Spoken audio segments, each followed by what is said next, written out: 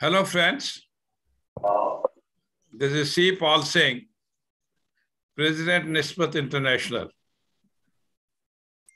I thank you all for joining us at the 128 edition of our international webinar on ethics and integrity at workplace. I extend very warm and hearty welcome to our two learned speakers from USA. I'm sure the delegates would find the deliberations quite useful and will enjoy the deliberations. Let me say a few words about NISSMAT as such. National Institute of Security Safety, Management and Applied Technology was established about three decades back in 1990. We started having courses and training on private security, followed by some courses for the defense, ex-defense forces personnel for their second career in the private security industry. For the last few years, we started expanding ourselves and we have now thought of having NISSMAT International in four segments. First is NISSMAT Forum to organize webinars, seminars, conferences, international meets, programs, debates, etc. That is NISSMAT Forum. The second is NISSMAT Academy to conduct virtual training programs and assessments. The third is NISSMAT Enterprise to undertake audits and verification and also to establish international alliances and partnership. And the last is NISSMAT Foundation to undertake welfare and social work for the society at large. With these words, I now like to introduce the chairman, a few words about Captain Pavanjit Ahluwalia. Pavanjit Ahluwalia took voluntary retirement. Second, please, mute yourselves. There's somebody with two uh, devices on. Mr. Pavanjit Ahluwalia took voluntary retirement from the parachute regiment of the Indian Army at a very young age and plunged into an unknown area of business. His warmth, as all of us know who have been associated with him, is really contagious. And he has an internal sense to find out silver lining in every situation.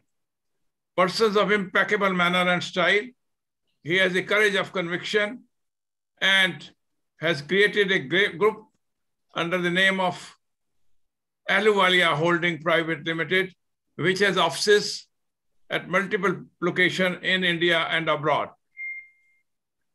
With his continuous perseverance, he has grown, elevated, and achieved a position of prominence in the business world. He, was the, he is the past president and former chairman of the Council of International Investigation, USA, and is an awardee of Malcolm Thompson Award and Kautilya Award. Shri Pavanjit Ahluwalia will moderate the session after a few minutes. Let me introduce the subjects. The subject of today's webinar, Ethics and Integrity at Workplace, is indeed very important for all organizations.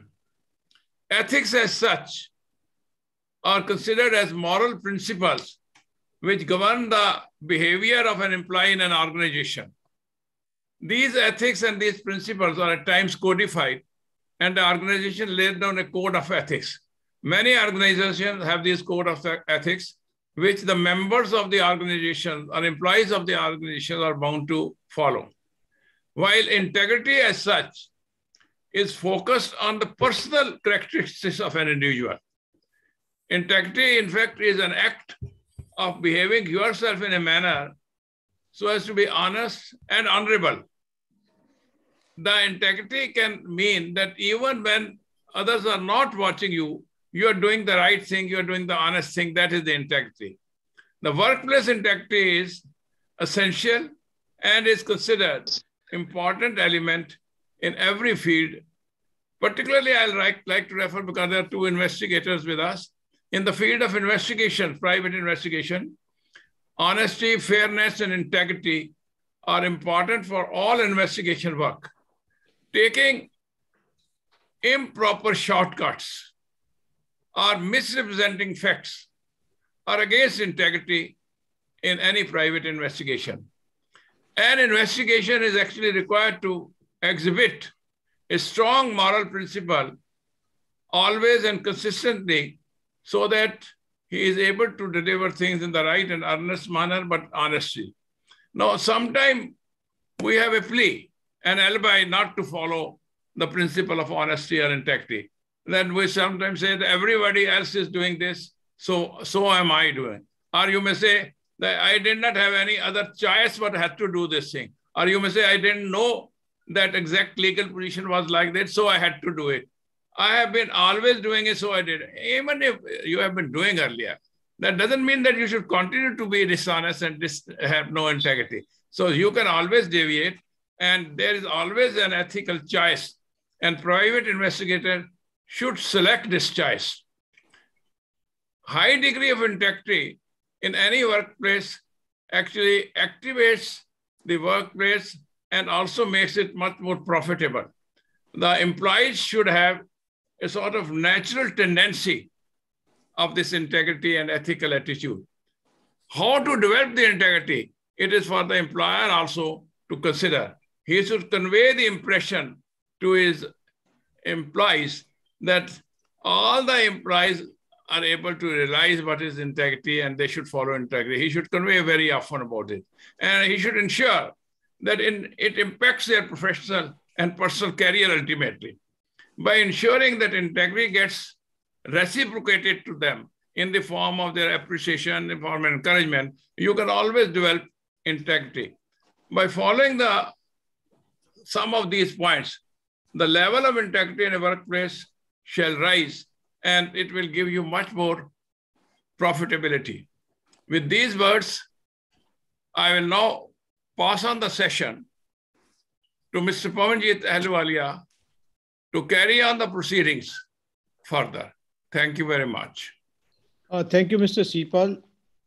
Uh, before I start, I'd like to acknowledge the presence of participants from uh, India, Singapore, USA, Bangladesh, Bhutan, Guyana, Monaco, Netherlands, UAE, United Kingdom, and Vietnam. Uh, we are, as I speak, uh, streaming live on YouTube and Zoom. And I'd also like to acknowledge the sponsors of the event without whom we may not be able to exist. One is uh, Premier Shield Private Limited. And we are supported by Premier Consulting and Investigations Limited, India Skills Private Limited, Tag Scores, JMD Cargo, and HubSpot. A word about our president. Mr. Sipal Singh is one of the most illustrious and decorated police officers of our country. He raised the uh, Rapid Action Force as part of the Indian Police Services, and he was appointed as the first chief of this elite force. He later raised the Internal Security Academy, a central police academy in the state of Rajasthan of India. During his service, he was decorated with the President's Police Medal for Distinguished Services, the Indian Police Medal for Meritorious Services, the Police Special Duty Medal with Bar, a Sena Medal, and a number of other commendations and rewards. Post retirement, he worked in the private sector with Tata's uh, Iron and Steel Company and was assigned the responsibility to streamline the security and vigilance matters in the coalfield division of TISCO to prevent losses to this division. He has also been the chairman of the Technical Committee of Quality Control of India, which formulated the standards for star rating of private security companies. He was involved in developing the curriculum for private security guards training under the Security Sector and Skills Development Council. He was the head of the committee which designed and worked out national occupation standards for training of private security guards and qualification pack and national occupation standards for the firefighters. He was awarded the Security Personality Year of the Award by the President of India in the year 2009. He's an advisor to the Asian Professional Security Association, the Indian chapter, and an honorary director general to the Central Association of Private Security Industries in India. Mr. Sipal Singh's face is well known in India as a dynamic security professional, and he is frequently called to share his views on various subjects connected to homeland security on national news channels. Our first speaker of the day is uh, Kitty Hailey. Kitty Hailey is an investigator of long standing. In her almost 50 years in the profession, she has owned and operated a large ag- agency both in New Jersey and Pennsylvania in the United States. She has also worked with a small team performing criminal defense and civil rights work for the last decade. Kitty is the author of over 50 articles for professional journals. She has spoken at educational conferences and written numerous books to enhance the profession. Her most recognized writing is Code of Professional Conduct Standards and Ethics for the Investigative Profession. Now, in its third edition, this is the seminal writing on ethics for investigators worldwide. You uh, please feel free to contact her via our website if you have any questions or inquiries at a later point of time. Uh, you can take the uh, website and uh, her personal address from me at any point of time. After all this time, her joy comes in helping others to become the best in their field and sharing her knowledge with the next generation of investigators. Ladies and gentlemen, I present to you Kitty Hailey. Well, I would say good morning because it's very early here on the East Coast of the United States, but I understand that it is not the same for many of you out there. So, hello, wherever you are. And it's a pleasure and an honor to be a part of this presentation. Um, the brief and um, pretty accurate biography of me that uh, my friend Pawan has has offered basically just says that I am old and I have been in this business for a very, very long time. Obviously, I did not have a profession prior to this. If I had, I would be in my hundreds, but I'm not. Um, I started in this business in my 20s, and I found that as one of the few women who were involved in investigation, because that's my primary work, that there was much to be learned and much to do to take the profession into the world of professionalism. When investigators in my early generation, where we first started, when we told people what we did, we were looked down upon. We were considered less than moral, less than ethical, less than professional. And it's been my lifetime job that I have self imposed upon me to bring the profession into the highest level of profession as possible, because I believe that those of us in safety and security and investigation leave a legacy for the world that is very important, and that we have something of a responsibility more than anyone else in any other profession except law enforcement and government of protecting people. We assist, we protect, we find information that allows a quality of life to continue. Now, here's the problem because we do that, we also have the ability to cause harm to reputations, to persons. The information we provide might hurt someone. And ultimately, I was appalled at that thought. And so I wrote a book of ethics almost 20 years ago. That was something I wanted to aspire to. I put the highest level of action that a, prof- a, a professional investigator could do together in, in one little volume. And I found that it was pretty much accepted across the profession and across other professions. Real estate agents have codes of ethics, plumbers have codes of ethics, security people have codes of ethics.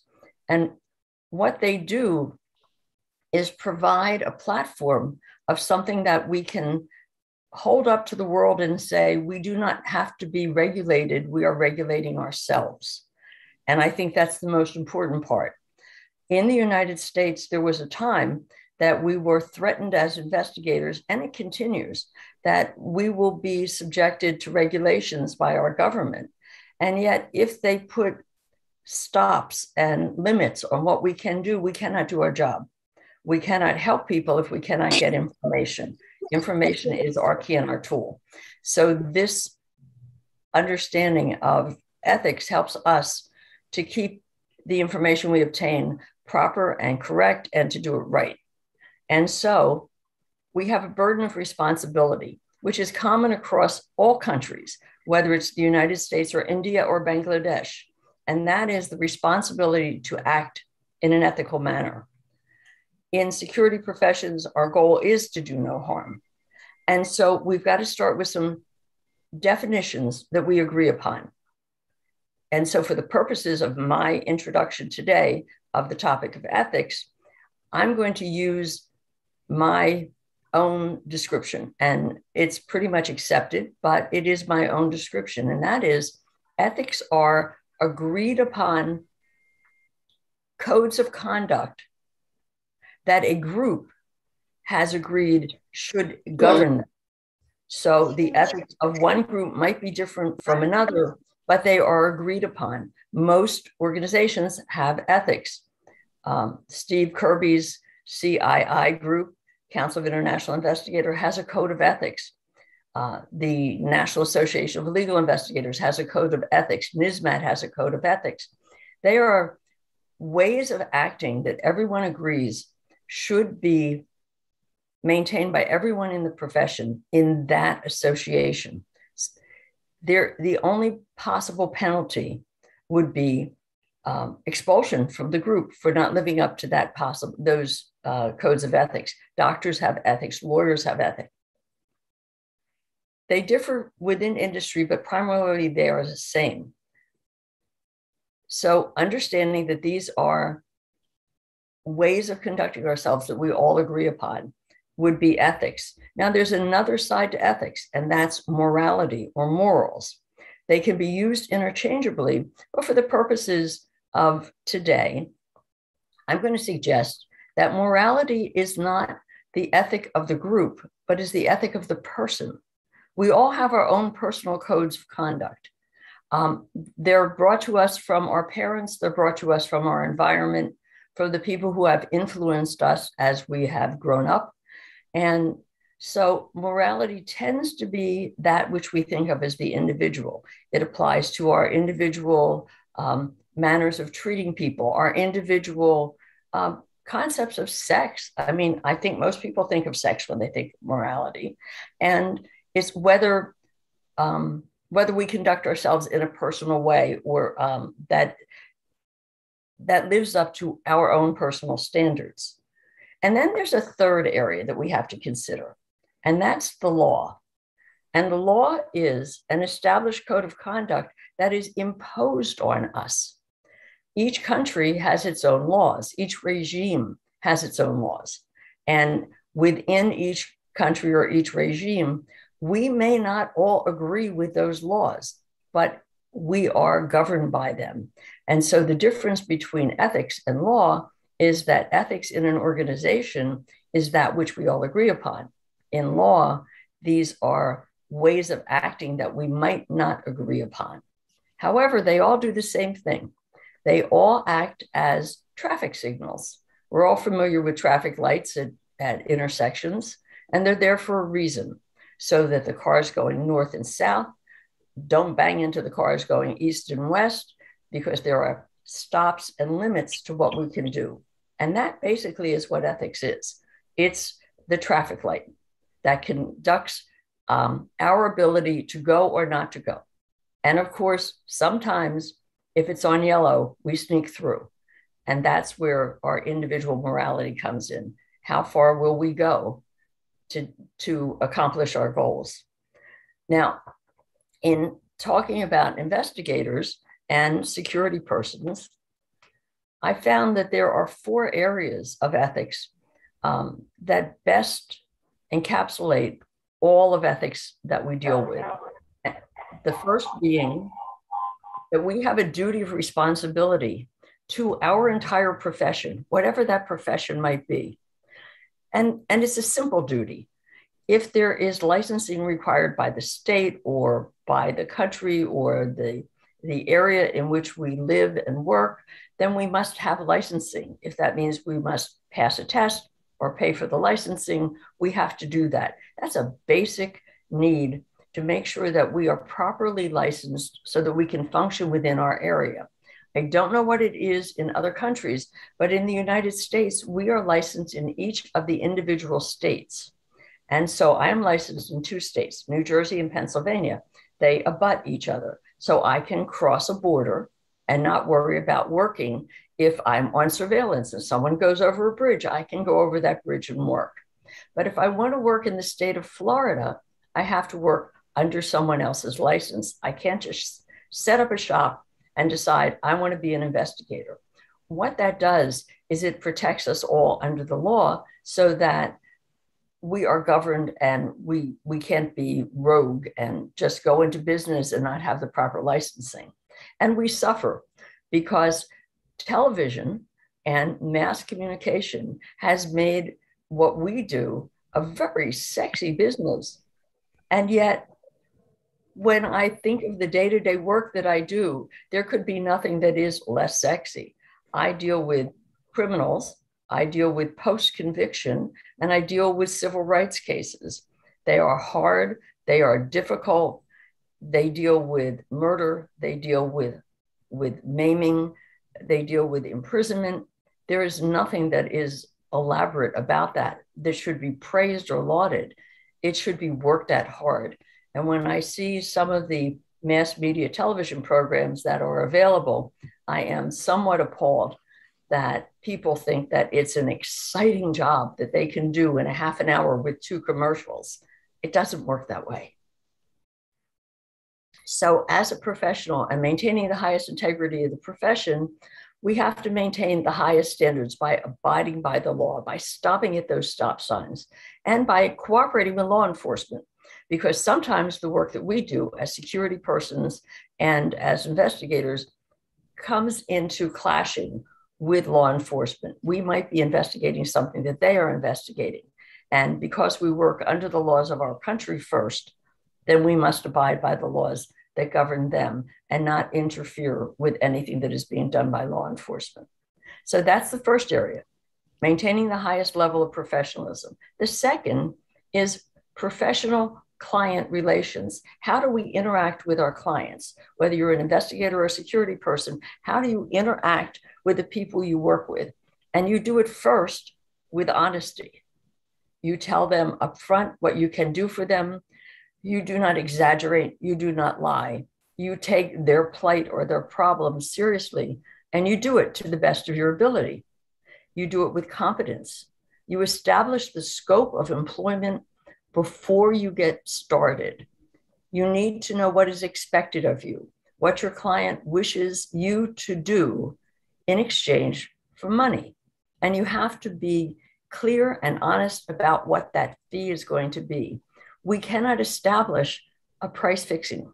We cannot say everyone must charge the same or this is the standard that we are going to charge because that would be price fixing. We charge what we charge because that is what we post and that is what we maintain. That can change. It can change from client to client from job to job. And frequently we do pro bono work. We work for free for something we believe in. Unfortunately, too frequently, but um, everyone cannot afford to pay. And so we do the job that we do, but we owe the client diligence and competence. It's possible for someone who has never done a uh, criminal investigation to do a criminal investigation, but it behooves them to educate themselves, to work with someone who can assist them, to ask for another investigator's um, tutelage or mentoring. It's possible to do anything because investigations are similar. They all work around doing the work that we do um, by understanding the job, laying out the problem, and doing the investigation. So there is a similarity, but it's a big difference between doing an insurance investigation and a civil rights investigation because what we need to find is different. And so we have a responsibility not to just take on anything that comes down the pike and say, yes, we can do it without knowing that we have people to rely on to assist us. And so we can seek out other investigators to help. But what we have to do as we're working on the job is to maintain records, to make sure that we have reporting to our clients, and that reporting has to be honest. Now, unfortunately, clients have unusual expectations. They believe that we can do anything or that we will find what they want. Well, in a good investigation, we find what exists, not what they want. We cannot change a fact. We cannot twist something. Although it's very interesting in a criminal investigation, there are two sides there is the defense and there is the prosecution. And if a good investigator is hired on each side and they find the facts, the facts will be the same because the facts don't change. However, when they get into court, the attorney for the prosecution is going to take those facts and twist them this way. And the attorney for the defense is going to take those facts and twist them this way. And you would believe that they were never the same from the beginning. However, we can't make anything up. We have to, to find what is there. And that's part of the duty of responsibility to our client. No matter what anyone else does with that information, we have to provide it, whether they like it or they don't like it. They have to know what, the, what they're looking at. Now, the third area is professional professional relations. We work with other individuals frequently. Sometimes we have staffs, sometimes we have partners. Whatever the standards are of the person who is licensed to work has to be the standards that the people who work with them and under them also maintain. So any employee that I have has to live up to my standards. And that, that would be my code of conduct. Any person that I would subcontract to has to live up to my standards. I become responsible for them not only um, ethically, but legally. And that's why I carry insurance because you hope that the people who work with you will work in the same manner that you work. Although sometimes when someone is out in the field, it's not possible to govern them as much as you would like to, but you can teach them, you can train them, you can let them know what your ethical standards are and what you live by, and hope that they continue to do that too. Also, we have to be careful about the reputation of other investigators. When we malign another investigator, we malign the entire profession. When we talk bad about another investigator, or tell someone that he or she is not as good as I am. I can do the job better um, because he doesn't know what he's doing. Or, oh my goodness, I've worked with him. He's terrible. I don't like the way he works. Well, you can't do that. You can do it. You shouldn't do it. You shouldn't do it because it takes the entire profession and lowers it. It, it takes it into the realm of pettiness. And we as professionals are so far above that if we do not like someone or what someone has done, I think we have a duty of responsibility to contact them and let them know that they're not doing things the way we would like to be them to be done, as opposed to um, bad mouthing them, going to a, a, a, cocktail party after a conference and sitting around and saying he's a terrible investigator. I would not work with him. Uh, that could ruin someone's business prospects forever. It could ruin someone's reputation. And we have a duty to be better to our fellow professionals. also, we have a specific duty when we subcontract to another professional. We want to be paid by our clients. We have to pay other professionals who work for us in a timely manner as prescribed and what we promised, and without cutting corners and without um, making, making them wait until we are paid. If you hire an investigator, unless you have already said to them, I cannot pay you for three months until I'm paid, you must pay them immediately. We have to do for other investigators what we want done for us. We have a certain responsibility to make sure that all investigators are, are well compensated for the work that they do. And the mm-hmm. very last thing, the last area that I have chosen as um, one of my areas of concentration is relations with the general public. And I've already covered a little bit of it in telling you how I feel about what has happened um, on television and in movies. When we talk to people, it's nice to brag and it's nice to boast and it's nice to elevate ourselves into the same realm as movie stars. We're not. We're good, hard, honest working people. And we do a good, hard, honest working job. And so when we advertise, it's not about the way we look, it's about what we do. When we advertise, it's about honestly giving what our abilities are, about honestly telling what we can accomplish, about honestly giving our fees and not rep- misrepresent, misrepresenting ourselves, excuse me.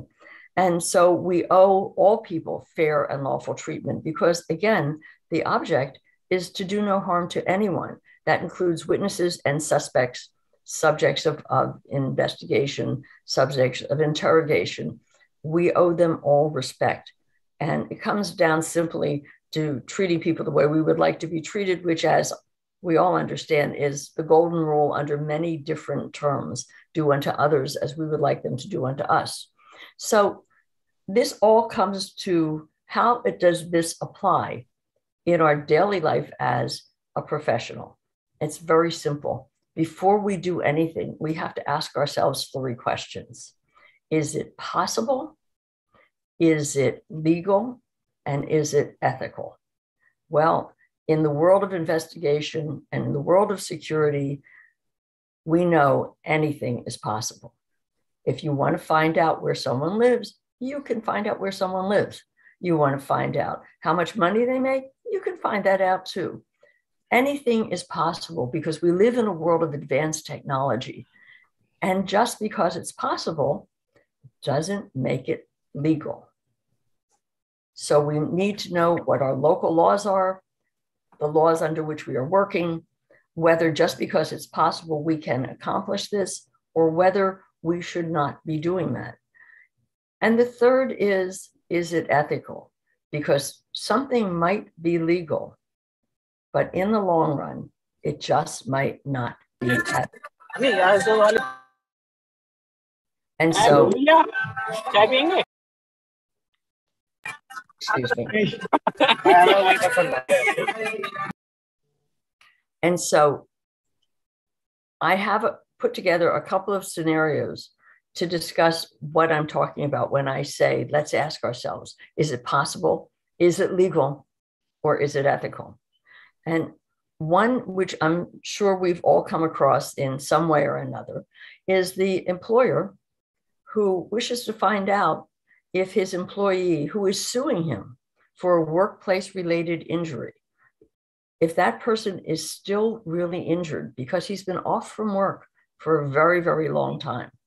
I think most of you have come across something of this nature in some way or another where someone claims to have been injured on the job. They were working in a factory and they had a slip and fall and they hurt their back and they claim they cannot walk, they cannot dance, they cannot have any quality of life.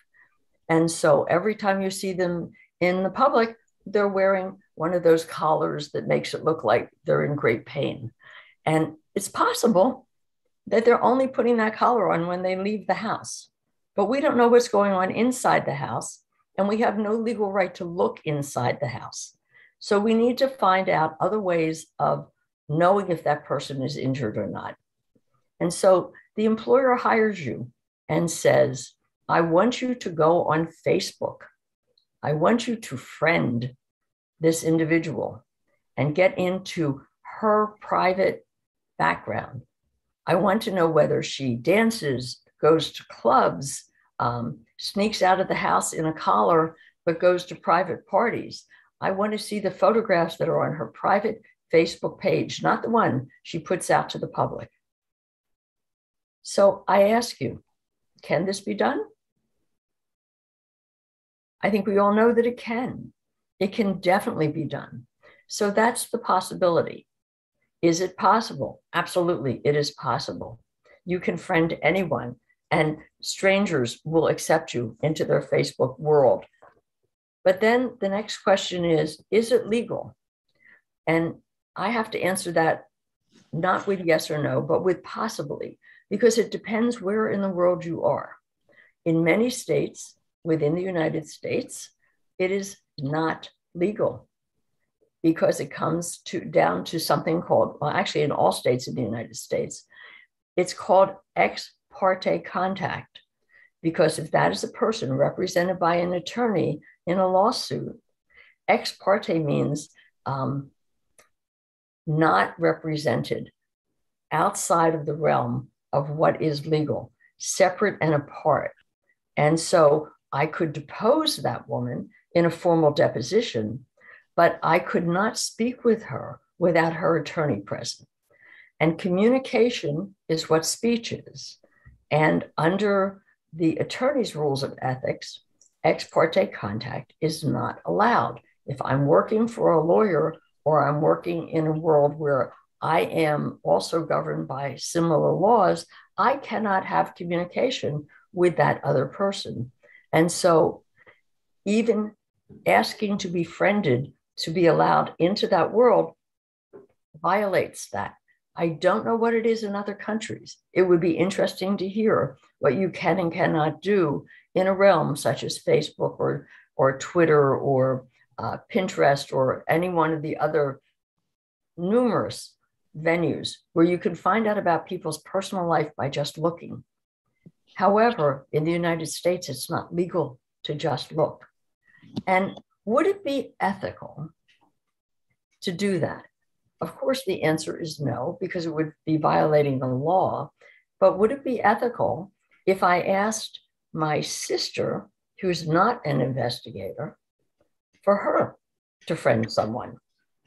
And she just happens to tell me what she sees or happens to share the information with me. Think about that for a second, because in my world, the answer is no. If it's not allowed, it's not allowed. Subterfuge is not allowed to find it. And it means that the investigator now has to go into another area of attempting to get information by perhaps the old tried and true gumshoe tricks of surveillance or um, trash picking or any number of things, talking to neighbors, talking to relatives, but not talking to the person themselves, because that um, constitutes ex parte contact. Uh, and I think I have time for one more. Am I right, Juan? Yeah, just a minute left, Kitty. Okay. Well, the last one is that sometimes there is something called situational ethics. When the situation changes and it behooves you to kind of throw your ethics out the window. And that happened to me in a situation where I was asked to go into, um, to use a, a pretext to see if a child was in a home and was being maintained in a good condition. Uh, father had hired me, and mother was estranged, and they shared custody. And the father was concerned that when the child was in the mother's um, presence, that she wasn't being taken care of. And so I used a pretext to deliver a package to the house. And um, I wasn't going to have conversation. I just wanted to see if the child was there and get as far as the front door so that I could look and see what the conditions were. I knocked on the door, and after a, a long time, a young woman came and opened the door. She was um, she was disheveled. She was dirty. She actually smelled. I could smell marijuana coming from the inside of the house. It was so overwhelming that I could have gotten a contact high just standing outside on the doorstep. And I was able to look past. And what I saw was a man lying on a sofa with his arm out over the sofa and a needle sticking out of the arm. And I saw the infant, who was about perhaps 10 months old, crawling around on the floor beneath the man on the sofa. Now, my duty of responsibility was for confidentiality. I was there on a pretext. I wasn't supposed to talk to the woman. I wasn't supposed to go inside. I wasn't supposed to have contact with the child. And yet, my personal ethics and my personal morals hit me like a ton of bricks. I'm a mom, I'm a grandmom. I saw a baby in distress. I pushed open the door. I walked inside. I picked up the child off the floor. She was dirty. She smelled. Her diaper was dirty. Somehow or another, the arm that had been laying on the side with the needle in it disappeared under a blanket. I picked the child up and I said to the mother, I'm here representing your estranged husband. I'm taking the child with me and I'm calling the police. And I walked out the door. That's a situation where was it right to violate the confidentiality of my client? Certainly not. Was it right to save a child? Yeah, I think so. So sometimes ethics are situational and we have to be flexible. And I think that concludes my time. I wish I had more, and I'm more than willing to discuss with you anything you would like at any time. Thank you.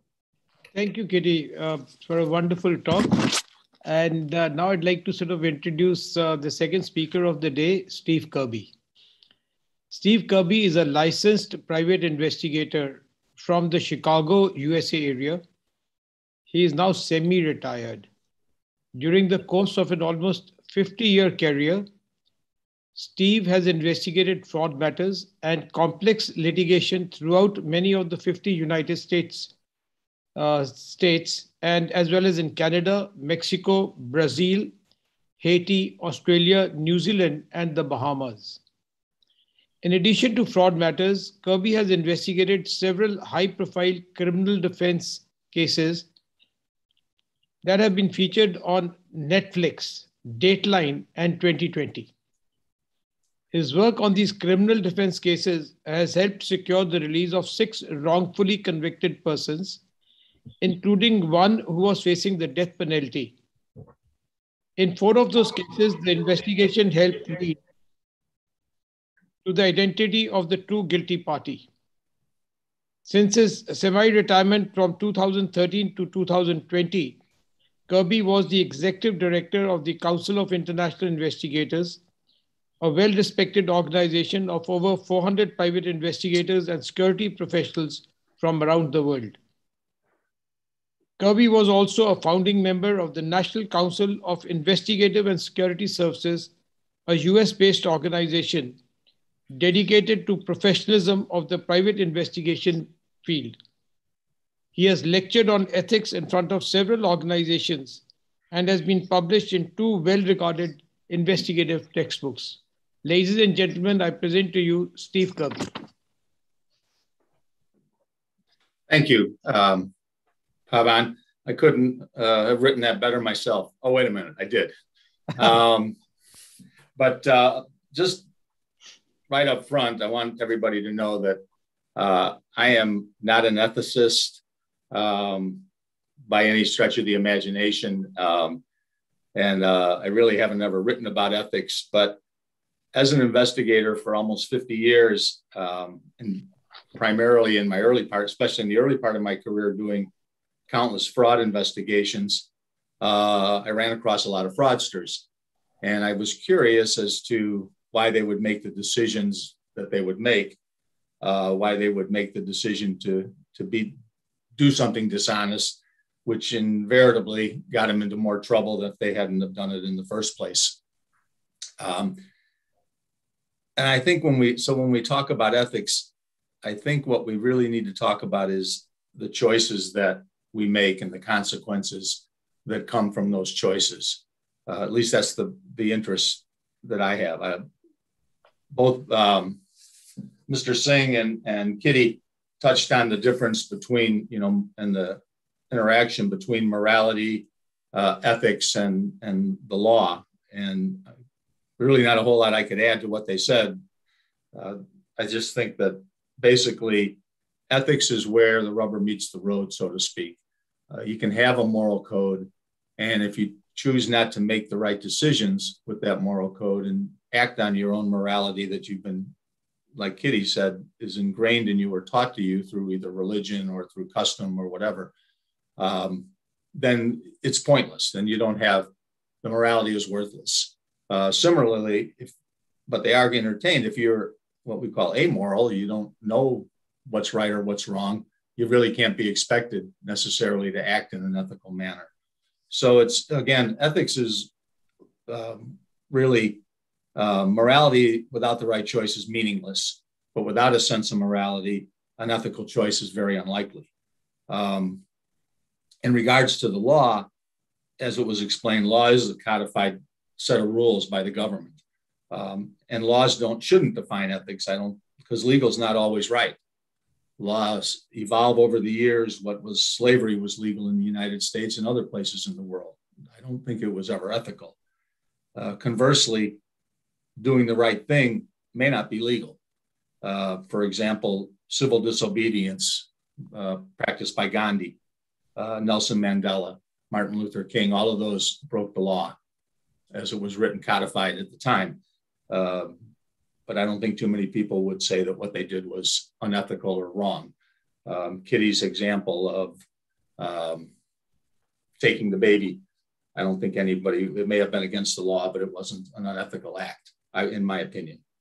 Um, a former US Supreme Court Justice, Potter Stewart, once wrote, Ethics is knowing the difference between what you have the right to do and what is right to do. And that's pretty well, pretty much what I would say. It's, uh, or as Immanuel Kant opined, in law, a man is guilty when he violates the law. In ethics, he's guilty if he thinks of violating the law. Um, so I think when you get down to it, uh, ethics is basically, in my opinion, uh, a conscious choice to act in a principled manner. The um, one thing I would kind of, a few things I would, one thing I would sort of disagree with a little bit with what Kitty said, and it's maybe just nitpicking in regards, is that we talk about, she started her, her discussion by talking about our profession, saying that back in the in the 40s, the 50s, whatever, it, it certainly did have a reputation of a rough and tumble type of profession. Uh, I don't think that the profession itself was ever unethical. I think there were people that were unethical in the profession. Uh, I'm sure that there were investigators in the 40s and the 50s that were extremely ethical. Uh, so I think, I think, and in fact, I kind of take issue with the with the whole idea of business ethics, and in some respects, so-called code of ethics. Um, I find a lot of corporate code of ethics are really just a lot of PR pablum uh, that they put out there to make themselves look good Um, you know, and they and drives me crazy when I hear. Uh, drives me crazy when I hear one second saying that. No, can you please mute yourselves, please? Can you please mute yourselves? तुमने कितनी बड़ी गलती की है तुम जब चाहो मैं तुम्हारे अगेंस्ट तुम्हारे एक्शन लिया नहीं Pooja can you please mute ये याद है sorry steve uh, it's okay um, we use, I'm talking about some business codes that you'll see posted up on their websites and and this um, their corporate ethics uh, to me a lot of times are just things they say for PR purposes. Uh, when they it drives me crazy when I read or I hear they'll say, you know, this or that, some ethical concept is our number one priority uh, after they've just and in fact have, have done something horrendous, you know, uh, impacting the thing. I think a business ethical core and reputation is the sum total of the behavior of all its employees, which comes down from the top. If you are the leader and you are an ethical individual, you're more likely your employees will follow you if you teach them. On the other hand, if you as the leader have your employees cut corners, do things dishonest, make the wrong choices on your behalf, and this is one thing you can write down and take take it to the bank that if you have an employee steal for you, they will steal from you. You can put that is so if for no other reason than that, uh, you want to foster ethical uh, standards by your own behavior, which will filter down to your employees. Um, I'm, I think that, as Kitty said, ethics is really a, a pretty simple concept. Um, first of all, they're as old as almost written history. They go back to the Greek philosophers, Plato and Socrates talked ethics uh, and the reason for ethics. Um, and like Kitty says, I think it really comes down to treating people as you want to be treated. Um, do unto others as they will do unto you. It's a very simple statement, but it's really profound. Um, nobody likes to be cheated, lied to, taken advantage of, treated unfairly. Um, and if everybody acts that way to others, it's a really simple, simple. Um, and that moral imperative, interestingly enough, is really can be found in the writings of virtually every faith. If you look through the uh, the Christian Bible, the Quran, Hinduism, Judaism, Zoroastrianism, even paganism writings have the concept of, of treating people, others as you want to be treated. Um, and as simple as that can be, at, at times it can be really tough. Um, it's easy, ethics is easy when there's little at stake, when there's nothing to lose by being ethical or doing the right thing. If a store clerk gives you a little too much change and you return that, uh, that's not a, you know, it's a nice thing to do, but it's not a real challenge. Um, the real challenge comes when it costs more than you want to pay. That's when the that's when the tough gets tough. When you might lose a sale, or you might lose a customer, uh, or you might lose an employee, or you might lose if you face by somebody um, by because you you made a mistake and now you have to own up to it. Those are when the tough it becomes uh, tough. So the question then comes, why should you be ethical? Well, I think first of all, it's it's it's the right thing to do. Society is better when we all act in an ethical manner. We all everybody gets treated better. But that being that is set aside, from a business perspective, I think you have to look at it as a short-term gain versus a long-term gain. Over the long term, if you run your business in an ethical manner, whether it's an investigative business or you're making widgets. If you run it in an ethical, the, the long term gain, the long term growth will be better. And that's, just, and I think everybody would agree that that's a preferable to a short term flash. And in the short term, ethical, ethical or lapses or dishonest choices might bring a short term advantage. Um, but over time, most on, dishonest behavior comes to light.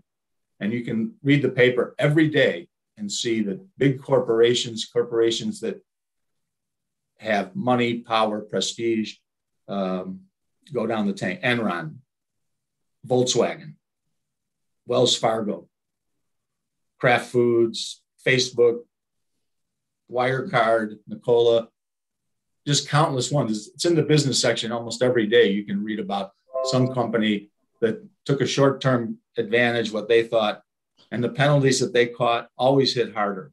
Um, aside from the embarrassment and bad press, the penalties went into the millions. Um, Mr. Singh made a point of saying that we should all act as the we're being watched.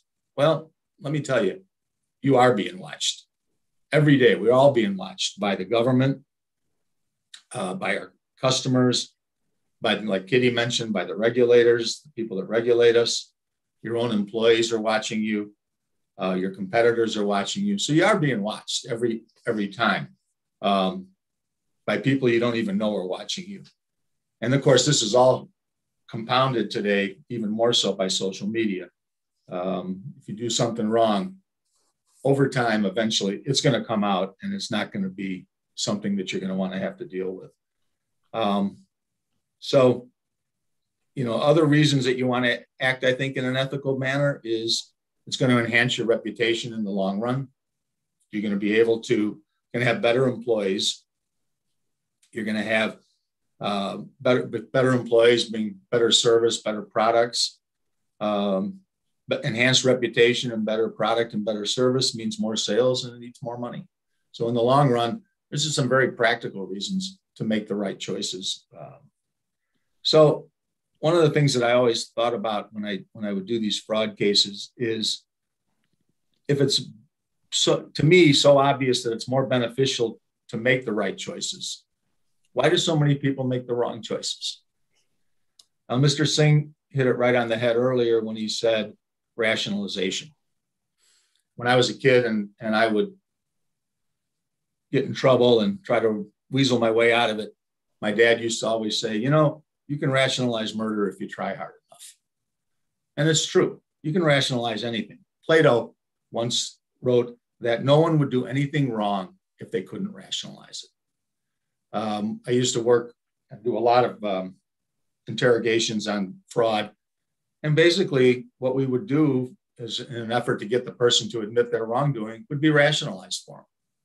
We tell them, hey, you know, everybody does this. It's okay. You know, it's, it's, you know, it's now you're not the only one that's done this. We make the rationalizations for them. Um, some of the common rationalizations, like I just said, is everybody does it, so I can do it. Uh, I'll only do it this just once. And of course, that's not true. Um, people learn to lie before they learn to steal. Small acts of dishonesty, because they're only going to do it just this once, go high, become higher and higher and, and more serious and more serious. No one will ever know. That's a rationalization you hear all the time. I'll do it different the next time. It's not going to matter. It's not that important. So if you find yourself thinking these thoughts when considering a choice, you're probably on, on the wrong track of going down the wrong track. Another reason people act unethical is a sense of entitlement, uh, hubris, uh, an self-inflated sense of worth. And you see that all the time in politicians, um, people in power, athletes, entertainers. They all think they can get away with it. And again, all you have to do is look in the paper and you'll see the rationalization that these people of power have when they take advantage of other people. Money is another reason, but I find that that's usually more symptomatic uh, than a than a reason. I mean, there are a lot of wealthy people who are ethical. Um, Henry Ford once said, "Money doesn't change men; it just unmasks them.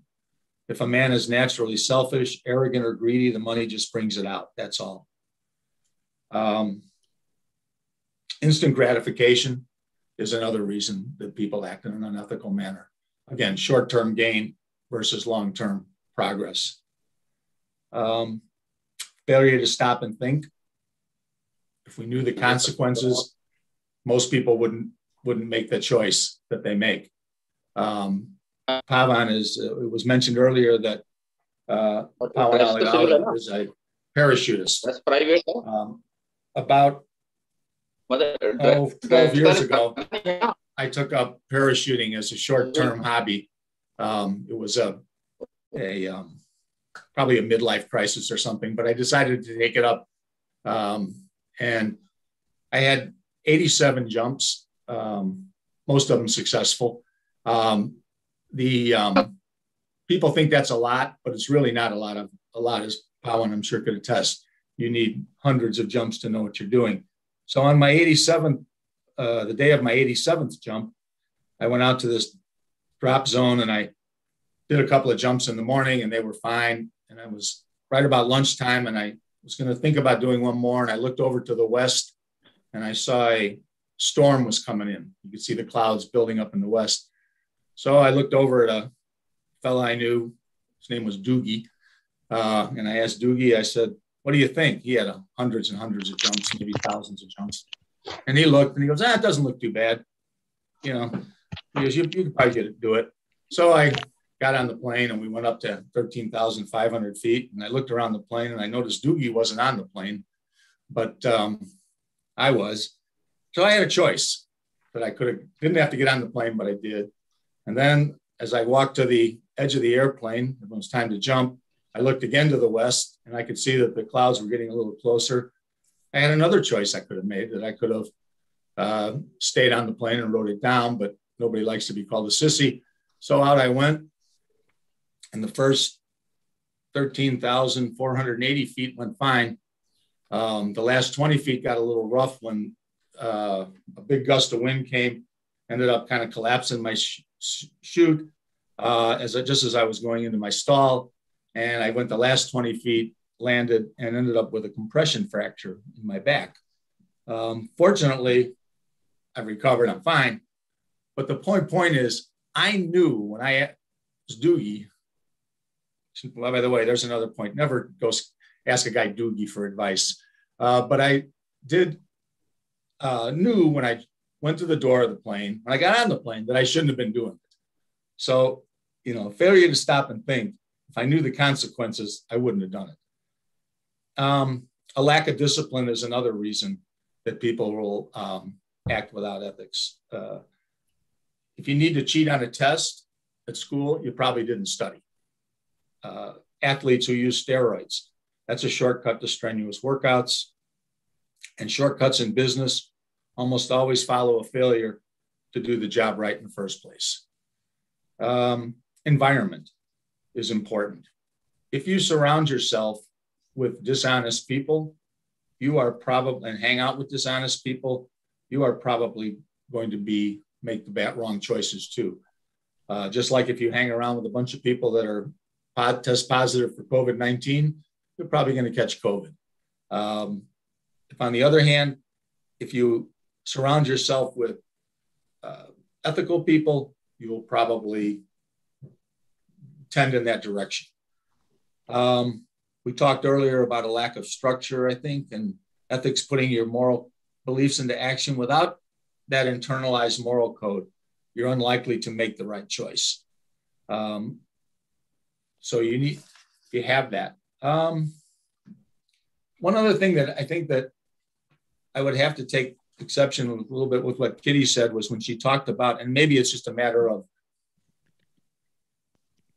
in what way you might be criticizing somebody. Um, Kitty talked about not um, dogging your competitors. And I understand that. I can, uh, that if it's an unwarranted thing, but if someone, if one of our, someone that in our business, particularly in the, our profession, is a dishonest, and there are dishonest investigators out there for sure, and you know that they're dishonest, I think it's incumbent upon you to call it out. Um, the Irish philosopher Edmund Burke said, Evil triumphs when good men do nothing. And I think sometimes silence and, and not calling some people out on their bad behavior um, is, is a problem, it creates a problem. Um, so um, I think it, it depends on your, you know, the reason you're calling them out. If you're calling them out because they have done something wrong or they have done something, then that's, I think that's a legitimate thing to do. If on the other hand, if you're the way that right now at least in politics in the U.S., uh, you'll see it. The only they'll tolerate the, the, misconduct on if it's being done by somebody that they agree with politically. Uh, on the other hand, they'll be criticizing somebody uh, that's of a different political stance. That's not, to me, uh, uh, doing the right thing. So that's sort of in brief how I view ethics. Um, I think in closing, it's always good to sort of take an ethical temperature as business people. Um, do you behave honestly with customers, suppliers, and employees? Do you have one culture that applies to all? Do you hire people with good and sound character? Do you associate with other ethical people? Do you mentor your employees to ethical standards? And do you take care of your obligations? And I think if you do the above, or follow simply follow that golden rule treating people like you want to be treated you'll be successful as business people and as humans Um, or as Mark Twain said, if you always do right, it'll gratify some people and astonish the rest. So, for no other reason, that's another good reason to be ethical. Um, like I said, I'm not an ethicist. I'm just somebody that's kind of curious about ethics and, and likes to talk about it. Uh, and if somebody has any questions, I'd be happy to answer them. Uh, thank you, Steve. Uh, I have a first. The first question comes in from Kitty Hailey. She wants to clarify where you where she differs with you. Right, Steve. I, I appreciate your comment on my comment. Um, I don't mean that you should not call out misconduct. I meant that you should not speak badly about someone, especially if you do not have evidence that you don't malign another investigator just for the purpose of getting ahead. However, if someone is acting inappropriately and you have the opportunity to either talk to them and find out if they understand they're acting inappropriately or report them to the proper authority, which might be the organization that you all belong to, so that they can be censured in a way that is uh, fair and um, constructive. Certainly, I can't disagree with that. Okay. All right. You know, one of the things that uh, Steve you said was you learn to lie before you learn to steal. You know, it's a very uh, apt sort of a saying. But how do you? Uh, why do you think ethics and integrity are so important in life? Why? Simply because it makes it makes everybody's life better. It's a it puts us in a better position as as people, as society. It, um, nobody, if everybody is always makes the right decision, which is you know a panacea, but if they do, there's no lying, there's no stealing, there's no uh, there's no taking unfair advantage of people. We're we're in a better world. So every step we take towards that goal makes us better people. I think. Uh, it's like living in the Ayn Rand's world. Kitty, what is your take on it? Well, what I think important?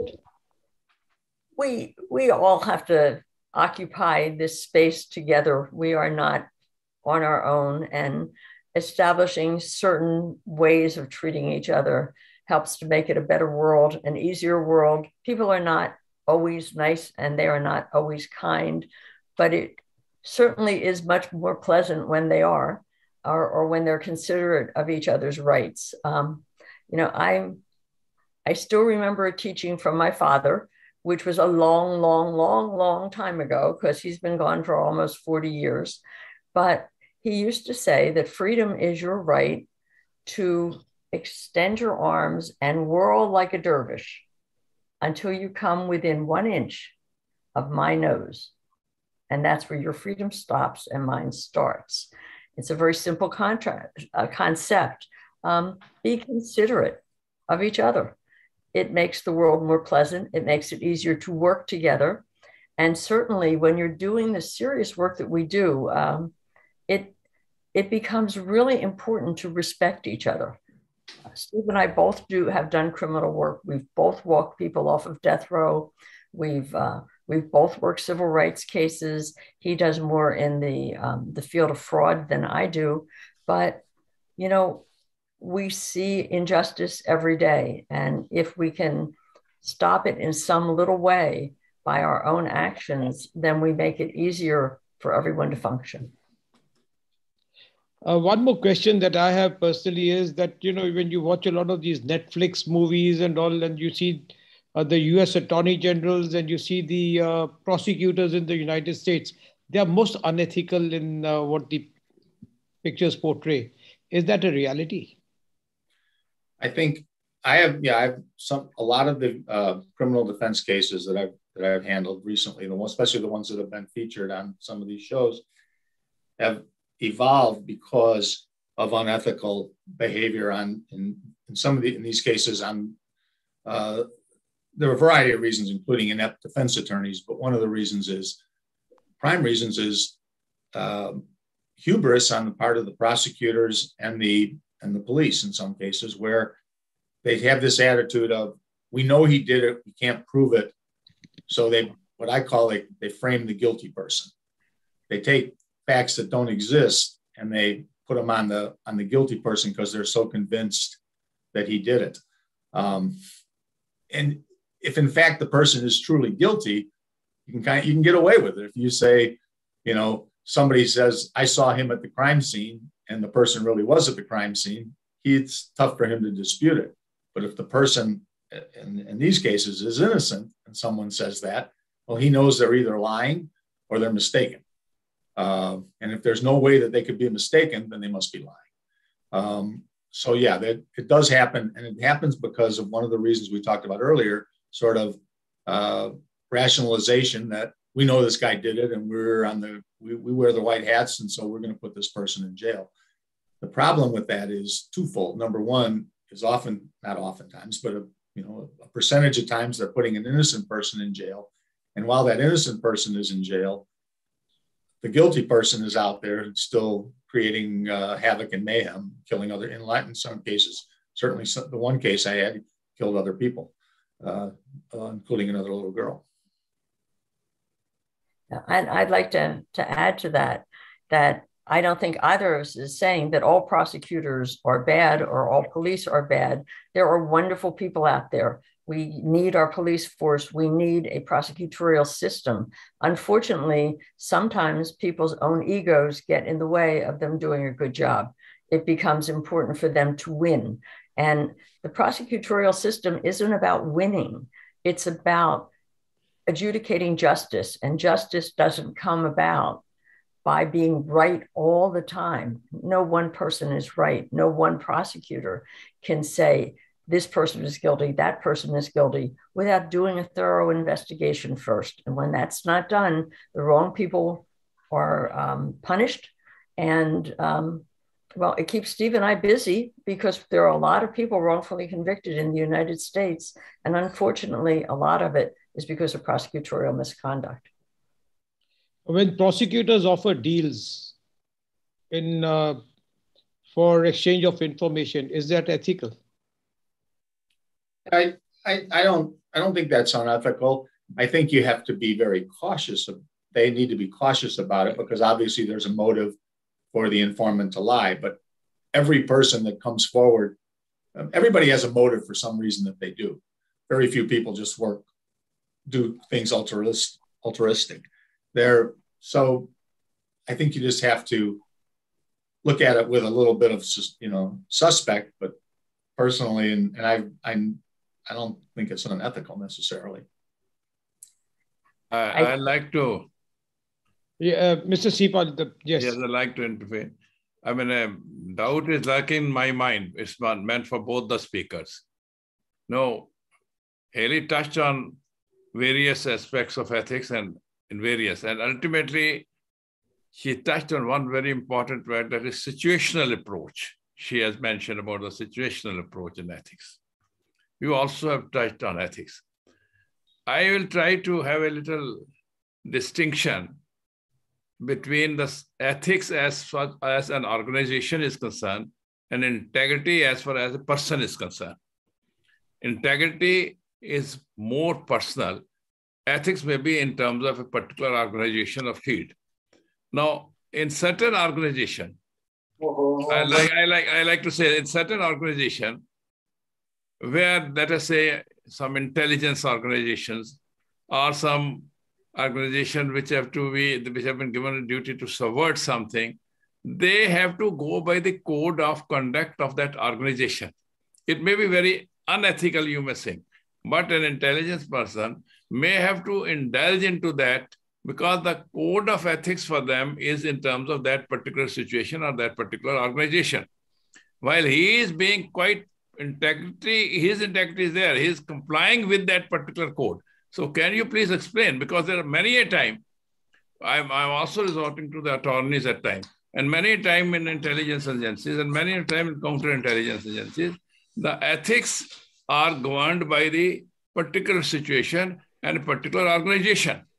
How do you, how do you spell them as unethical? How do you define them unethical? both the speakers. Can you, uh, I mean, this is a doubt which is in my mind. I wanted to ask both of you because you have uh, done a lot of research, uh, particularly you have done a lot of research. I have gone through, I mean, the entire approach is very nice. You explained about ethics, you explained about various laws. You also told that uh, we have not to exaggerate all these things. are good as far as the code which you have defined. But what about the organizational code? Well, can I take that first, Steve? Yeah. Okay. Um, most organizations do have codes of ethics, but what I found is because I researched every possible investigative code of ethics in our country and nationally before I put the book together, is that they are very similar and they overlap. There is no one code of ethics that says something that counters completely what another code of ethics says. As a matter of fact, my book is a compilation um, of very carefully organized codes of ethics from around the world. What I did was I started a huge flow chart. And every time I read a code of ethics, I entered it into my chart. And every time it repeated, I made another notation of it. And I ended up finding that almost every organization dealing with safety, security, and investigation had similar tenets to it. Uh, most of them being that you uphold the highest integrity of the, um, the profession, that you are honest, that you do not cheat the people with whom you work. And while some of them left out one and substituted another, there was nothing that was overtly unethical. So while the association you're dealing with might have one code of ethics that says one thing, and another one has another code of ethics that says another thing, they're not that different. They all are very similar. They're simpatico. They work together. That, that means that a thing might be ethical for one person, but the outsider may consider it unethical, who is not in that organization. Obviously, there's no such defined, absolutely, there's no such cut and dried thing about his ethics. Well, that's right. Yeah. yeah. I would think that ethics is more to me. That's why I, these codes are nice, but in some respects, when you look at them, they're just basically kind of like laws. They're, you know, they're they're a codified thing that they're saying, okay, if you're going to be a member of our association, you can't do this, that, and the other thing. Ultimately, to me, ethics is is the choice you make based on your own morality. And if you have a sense of morality, and that's and that's a pretty common thing. I mean, most it's you know, don't lie, don't steal, don't kill, don't do harm to people. The pretty, you know, it's a few simple rules really when you shake it all out. And the ethics is your individual choice to follow through with that. And it, it, to me, it's a you know, it's a pretty pretty simple thing. Uh, Steve, it is like saying you steal a dollar, it is okay, but when you steal a thousand dollars, it's bad. no, I don't think that's the case at all. I think if you if you you steal a dollar, you steal a thousand, it's still a theft. you know, whether one's more serious, probably, but um sorry, what uh, you may be doing at one time may be unethical for us, but you may be doing very ethical thing in terms of you being upright and honest to your organization. Am I correct, Suri? Mr. Suri? Yes, ah. we have been doing such a thing because we used to buy the loyalties of the I am from intelligence organization. I have worked for about 35 years. In order, in the interest of the country, we used to buy the loyalties of organizations. Terrorists, mainly I have dealt with terrorism we used to buy the loyalties. Is unethical it, for them, ethical for is us. Is it ethical or unethical? Because we used saying. to exactly. them. That's the approach I uh, said. Having their loyalties to some organization. Correct. And we used to subvert in national interest. For us, it is fully ethical. Whether yes. for them it is unethical. Yeah. Because we have done a thing which should not have been done because we have won over one of their persons to get information about us, about them. Can can I add a comment there? Yes. You know, when when we are children, um, I don't know in your country if you have them or not, but we used to play in sandboxes. Sandboxes are uh, big things on the ground filled with sand, and children who couldn't go to the shore or the beach would play in them with with um, with their buckets and their their shovels and they would little plastic things they would play with each other well if you if you took your little shovel and you hit your playmate on the head that was not a good thing and your mom would say uh, don't hit johnny that's a bad thing don't hit him and so you knew you had to play with certain rules in the sandbox if you were going to allow to go back there well now let's fast forward 20 years you are now a member of the military. You are in Afghanistan or Iraq. It is another sandbox. It's just a very, very, very big sandbox.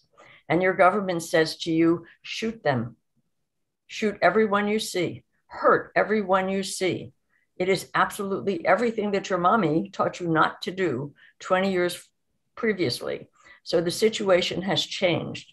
And so I don't think one organization that's an independent organization of professionals is saying to do anything wrong. But if you're working in a particular field and you have needs that are protecting the citizens as a government or a security officer or a member of a police force, you have rights and abilities and necessities that you do that are not a matter of your personal ethics, but a matter of your duty to the job that you're doing.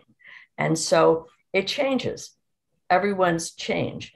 Um, I cannot do the same thing as a police officer in the private sector as I can in the public sector. And so we have to apply the ethics to each individual association and organization. But those that have greater latitude are usually government imposed. So the definition would be when we say workplace organization, the subject we started, ethics and we said ethics and a workplace. So ethics will change according to the workplace. I'm talking workplace mean working organization. So there's no such thing as a static approach or absolute. It has to it has to change according to the now the what is the ultimate I mean, uh, uh, of course, the ultimate is what do you suggest, what do you propose? That ultimately one should be ethical to the organization in which so that he is absolutely going by the code of conduct or by the laid down uh, principles or laid down duties for him? Or should he think of only being uh, very ethical, morally, as you uh, normally we use the word morally, or he should be absolutely that that is immoral to that so he should be moral and quit the organization and do something moral. That that means your your your definition itself says that should be fluctuating. Am i correct? Am it, I correct? It, it does. Hmm. yes because because the ethics are there and it, the codes that you were to work under have been established. And if they do not work with your personal morality then you have the opportunity to opt out and not do that um, it's why we have in our country conscientious objectors who do not go into the service because they object to what the service stands for. They object to hurting or killing or maiming others. And so you have the opportunity um, to make choices in this world, whether you work for a company that you find is unethical, um, you can continue to work for them, or your own personal morality can cause you to move away from them and say, I don't want to have anything to do with them. I don't like the way they run their business, and I'm not going to continue to be with them. And that's where my concepts of ethics being of the group and morality being of the individual steps in. And I think that that applies. Uh, John, are you there? John Chinatra? I'm here. Uh, you know, you had a very large uh, background screening company. Uh, how do you differentiate? How, how ethical is your organization? Uh, sir, as far as my organization is concerned, we have very strict controls controlling this in the, in the uh, industry. And we are completely vulnerable if we break these rules, like the privacy laws, GDPR. So we take extra care to see that these we don't cross the boundaries. So ethics seems to be the most important success factor in our industry. Uh, you use a lot of uh, subcontractors. How do you ensure they are ethical? In fact, that is our skill. That is why vendor management becomes so very important. The process that we build to onboard vendors, to monitor their progress, to train and counsel them happens to be a very, very important thing, thing in our profession. Yeah, thanks. Uh, General Mehta, are you there? General Deepak Mehta? No. You see, as a situational uh, ethics is concerned, it depends from the private sector to a government organization like the police or the armed forces. There are certain factors which come into play. Like in the private sector, yes, you've got to have little ethics. You've got to have ethics. But coming come to a government organization to get information, one has to do be, be one could well, at times one has to act a little rough. Would that be ethical? Yeah, the question is that if you're rough to get information, is that ethical? Steve? Um,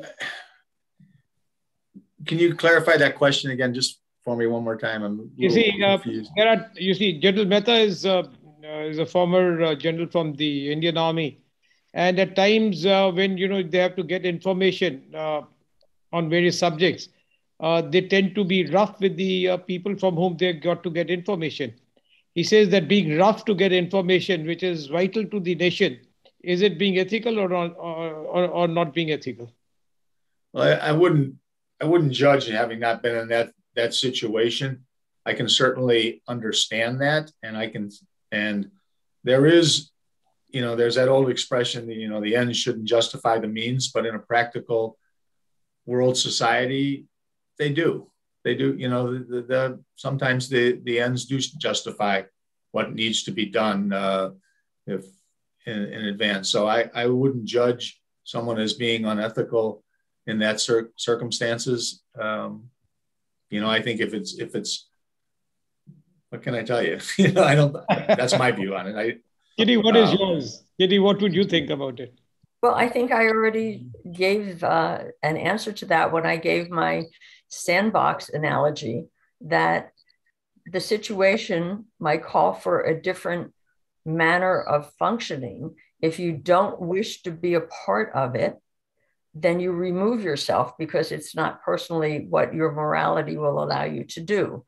It takes a certain kind of person to be in the military and to harm others in order to help many. I don't know where I fall on this at this moment. I'm pretty much a pacifist and I could not be a part of it, although I understand that sometimes it becomes necessary. So, the ethics of your organization, which would be the military, is to use any means necessary to gather information that helps the entire country. If that is the ultimate goal and that is the way you function, then I have no control over what you do. I would personally choose not to be a part of your military because it goes against my personal morals. Does that clarify Thank you. Thanks. Uh, may I add, uh, Deepak? Yeah, the, sure. To achieve the Deepak, uh, Jan Deepak, may I, to achieve the organizational goal, whatever your organization, army or police, to organize to achieve the organizational goal, if you tend to become stray away from the laid down parameters of law of that organization, then it is unethical. The question is that there are certain laid down parameters and ethics in every organization, the legal organization. I mean, if you are going beyond that, then probably it is unethical. But if you remain within the parameters laid down by the organization legally, then you are being, of course, ethical, even if you have to be rough and tough. The question is whether you stray away from that particular attitude of yours and get tend to become absolutely unethical in that organizational sense. We had to do a lot of things, as you know, in terrorism, but all the time, the people who did it probably suffered subsequently because they uh, obviated, they went away from the laid down parameters of law. So I yes. feel the ethics will then define in a, such organization what are the parameters laid down for you in the legal legal sense and legal terms. Ultimately, what it means is it's a judgment call of an individual, whether it's an ethical situation or an unethical situation. Is that right, Kitty? I, I, I believe so, yes. All right, uh, ladies and gentlemen, we come to the end of a very interesting uh, session. And I now hand it over to the president to sort of conclude the session, please. Thank you very much. I, the whole uh, gamut of ethics and integrity uh, was uh, at length expressed by Kitty Hailey. I, I could very well, I mean, I really appreciate the way she went about starting from the definition of ethics. She defined ethics in so many ways, and that was a pinpoint of the entire situation. Then she developed from that particular situation onward. Then she also, in between, came that where there is a sort of exaggeration that you should not do. Within the bounds of law is all right, but if you go and exaggerate, that also she touched. And then she also defined about the path to be followed. And then she ultimately came to the situational approach. And that is where I wanted to ask and already asked. So she has defined at length everything. Steve has been absolutely immaculate, practical. A, B, C, D will be negative and correct because it's not a question of today you want this thing, so you go have this approach tomorrow. So in any case, the end result would be that whatever the standards are there, if you are following that standards, you are being standard or parameters or legal bounds, then you are ethical. But there is always a situation where you become unethical and say the others are doing. So I have a saying that in this case, there is always a time when at least you should revert to ethics. If you have been doing unethical earlier, either in one organization or the organization, then at least revert to ethical now, because ultimately ethics is more important. Similarly, the collective efforts in any organization in terms of achieving goal, that will always collective efforts would mean there are certain laid down principles and those within those principles, all the employees of the organization work forward. That will add to the height and achievement of the organization. And also, I like to say only one more word that there have been very, very interesting and scintillating questions coming forth. And our learned speaker have explained at length and very clearly they have told, I am sure the delegates will carry home many points from them. And I thank you very much. Indeed, we are thankful to you, Kitty Hailey and Steve, for you having come and addressed the delegates of NISSMAT International. Our next interactive session. This is a one hour session that is creating happiness at workplace. Now we are going a step further from ethics and morality at a workplace. We want to create happiness at a workplace. NISSMAT International has suggested this subject, creating happiness at workplace. And we are getting a speaker, Kashiana Singh, who is a, a Blackstone's affiliate organization's uh, vice president. She is with Allied Solutions. And her TEDx speeches have been basically on work as worship in America, USA, she has been speaking, and work as worship has been her mantra. So I am sure that she'll be able to explain to us with this work as worship, how she can create happiness at a workplace. With these words, I again request all the delegates who have come here to please note down the date, 10th December, 6 p.m. to 7 p.m. Thank you very much, everyone.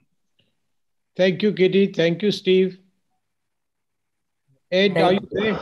Thanks, sir. Thanks. Wonderful. Thank you, sir. Thank you, speakers. Thank you. Thank you so much. can you take the thing off? Uh, can you just take it off the screen? Thank you, sir. Is Ed there? Ed, Ed Henry from Vietnam?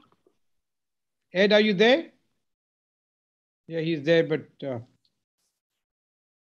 okay.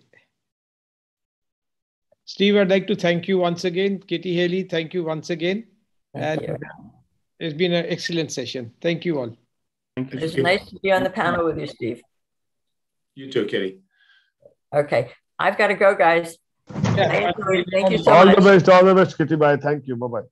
Yes, sir. Thank you. Thank you.